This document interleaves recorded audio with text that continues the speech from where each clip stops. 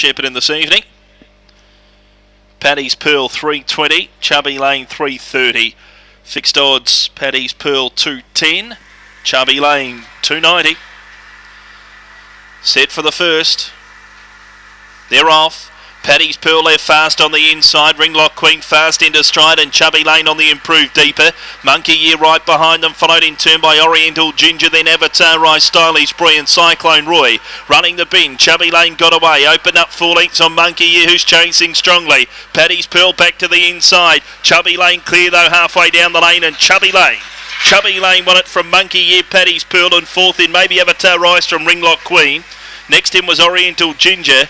And back to the tail of the field was Cyclone Roy in 22 and at 69. And we lost one during the run there. Stylish Bree has pulled up on the home turn.